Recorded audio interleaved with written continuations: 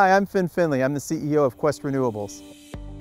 Today we're at AVX, a solar canopy that was built in South Carolina, 917 kilowatts, just about 3,000 panels on about two and a half acres.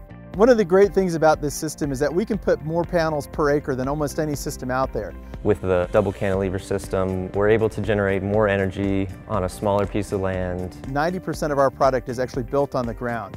Once the system is assembled, a crane comes in and lifts the entire system up all at once. It's faster, it's safer, and it reduces the amount of labor required in the system. So I really like the height of the system. Everything's really open, really minimal, really clean. Not only are you saving energy and producing energy, you're saving the planet as well.